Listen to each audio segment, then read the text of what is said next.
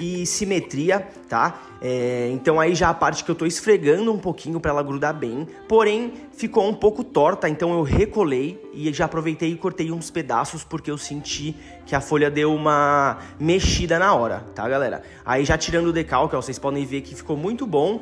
Teve uma partezinha ali que acabou não pegando, Tipo, deu uma borradinha aqui embaixo no triângulo, mas não tem problema porque é, tá aí o decalque, na hora de traçar eu sei traçar ela retinha, tá? Ou também você pode arrumar com uma caneta para ficar um pouco mais...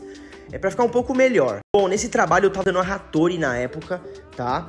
Para fazer o traço fino, eu tava usando a 0604 RL, tá? Uma agulha de 4 RL, espessura 0,20 milímetros cada agulhinha, tá?